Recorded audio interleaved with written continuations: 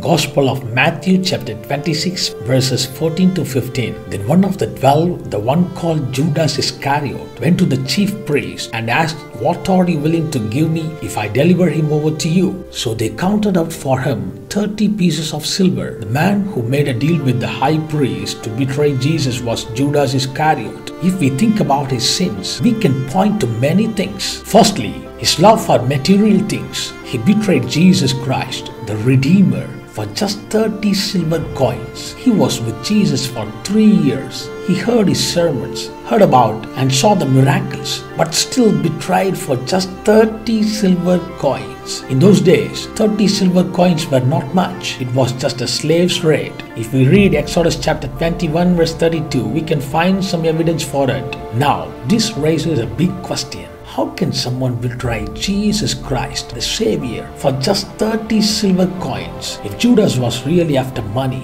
why did he throw it in the synagogue and kill himself? Why didn't he use it for his living? So, if Judas was money minded, why did he join with Jesus as disciple? The disciples were not wealthy, they were poor and simple people. If Judas were really a money minded person, he wouldn't have joined with the disciples. So, money mindedness is not the primary issue. There was some of the sin operating from behind. All the other disciples were Galileans, and those days they were very simple people. But Judas was from Judah. He may have had this in his mind. He was an educated, knowledgeable, shrewd person, and the other disciples were not so learned. But Judas thought Jesus lifted all the other disciples except him. He thought Jesus did not give him the honor due to him. This jealousy could have progressed to agitation and sought vengeance for that. Dear people of God, Judas built a castle in the air. He fantasized many things, and when those things did not happen, out of spite, he was ready to betray Jesus. Dear children of God listening to this,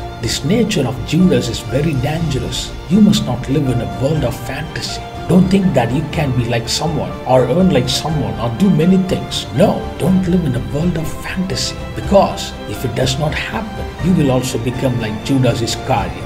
You must be very careful and cautious about this. No matter how far away you are from Jesus, always be mindful of the truth that Jesus still loves you. Repent quickly and move your life towards the cross of Calvary. Jesus is calling you. Hallelujah! Hallelujah! God bless you.